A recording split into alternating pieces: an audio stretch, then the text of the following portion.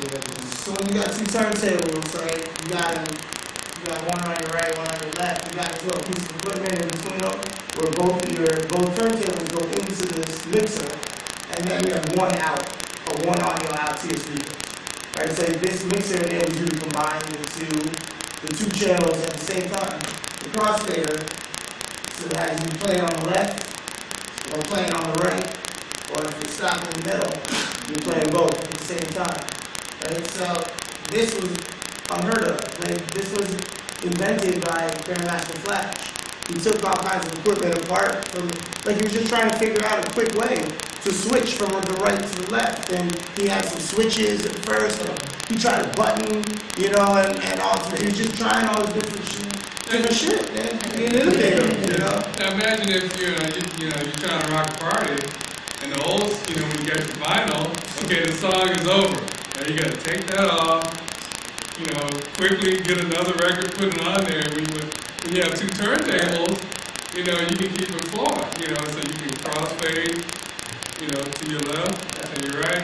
Now, just the ability to do that, I think, um, it, it can't be overstated. We moved into the eighties, that's when America got ADD, you can't wait, wait, you know, at party time, I ain't trying to hear four minutes of any song. I don't care what song it is, At two, two minutes, I'm ready for the next track, and that's what the crossfader enabled to like easily keep songs mixed and flowing and non-stop without, without breaks and gaps in between music and just keep the vibe flowing. And it just enabled a control of like like the Jarvis got this word dice, like a collective energy, you know, and a DJ like like a band could jam from one song into the next.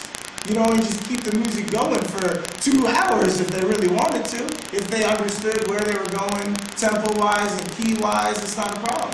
You know, and, and shit, think about a symphony, it lasts forever. You know what I mean? And, and, and what it enabled was a, a DJ to combine a whole bunch of singles tracks and small and short pieces of music and, and, and put it all together and build one of these four-hour experiences. And the crossfader really enabled the DJ to, to, to really control that.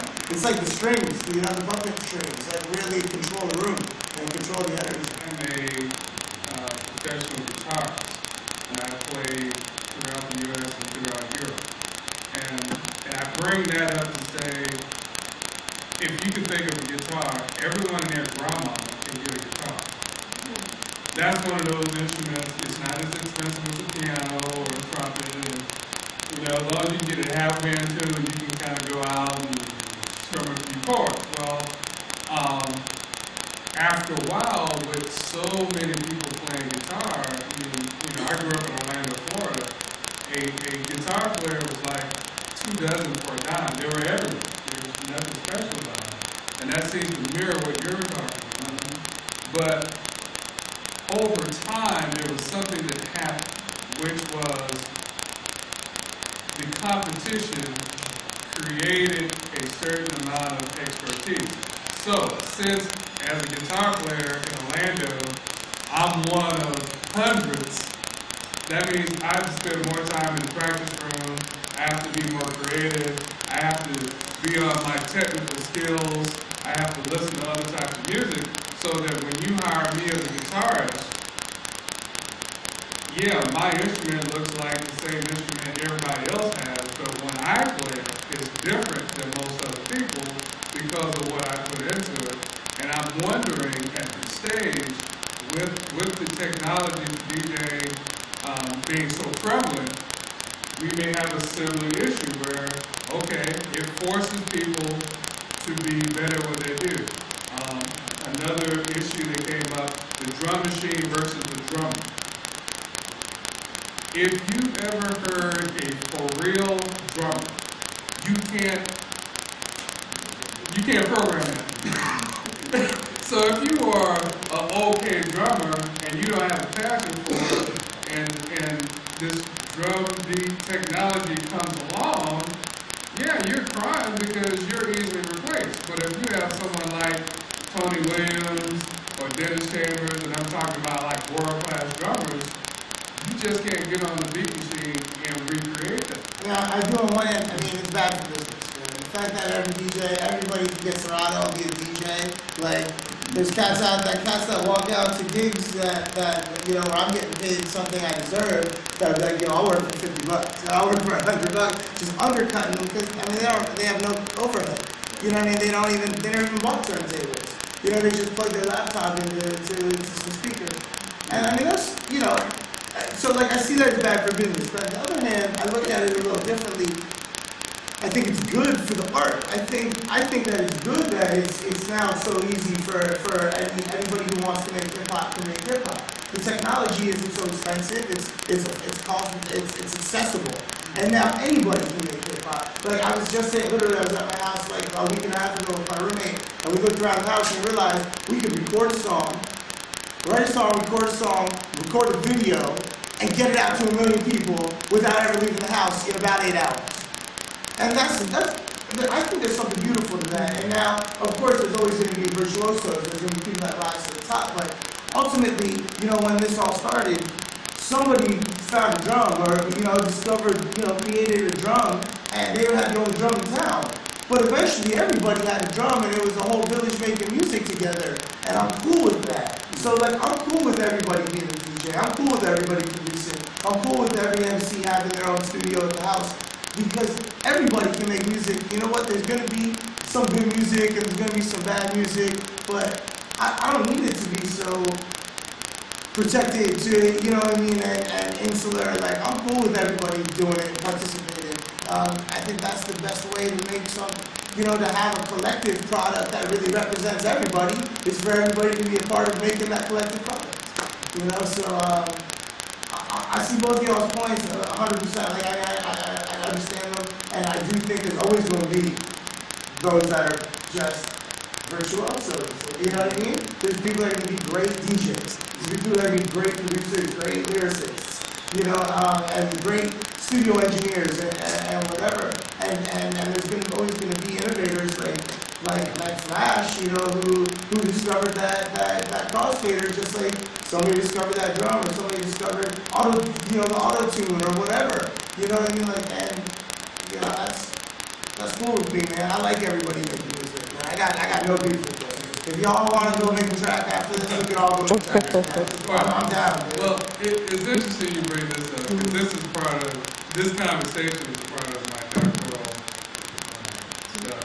It's funny, the way Greg is talking about music is for everyone, music as part of a community phenomenon, everyone can participate, is very different than how we are taught in academia these days. Once, once it went from an apprenticeship, yeah, once, once, it left the world, world of being an apprenticeship, and you study under a master pianist or drummer or whatever, and you went into the, to the residential institution, then you have people, and, I, and I'm a part of this too. I've taught at, you know, a few universities now. You have the, what's given to the students is this. Everybody can't do what you. Matter of fact, there is an audition process to make sure that only special people can get into the program. It should be. Right. Should be able to be good. Yeah, and, and, and there, and what, what has happened as far as music education in this country, we have got, we have become extremely good at filtering people out. Any high school, public school music program, I don't know if you know the numbers. That's an extremely expensive endeavor for a school to invest in. But it takes more money than an English or a math or whatever studies. If you're lucky, you might include eight to ten percent of the school's population. So, what, what's the deal? If, if you're really trying to make music for everyone, which is a lot of political speak, then why, why is it ninety people, ninety percent of the people able to participate in music programs, but the way we do it, and, and this is a part of our training. You go through audition and you decide who's good enough to get in, and then we get into the whole issue of uh, state festivals. You hear stuff like, I don't want her in my choir because she gonna mess me up when it's time to go to festival. I don't want him in my top artist band because he didn't have at least two years of private lessons first because I'm trying to get first place top artist. Academia, as far as music education, has done the opposite of what you're talking about to our detriment. And I think and I'm, I'm, I'm, going to invest a lot of time and money behind this premise. I think Greg is on, on the mark. We need to go how good can we be at telling people we don't want you to how good can we be at including people. I don't care where you come from. I don't care what your background is. There's a place for you at the table. Let's make music and let's maybe mix things together in a way that no one on, in, in the world has heard before. But that's, that's not how we do it institutionally right now, and I think it's to our demise. Yeah, everybody can do it. Yeah. Anybody that can speak can rap. I mean, maybe I gotta write your lyrics for you, but I'll write them for you, man. I can, I can write. uh, I mean, I, I, I can rhyme. You know what I mean? I'll write them for you. I got a lot of shit to say.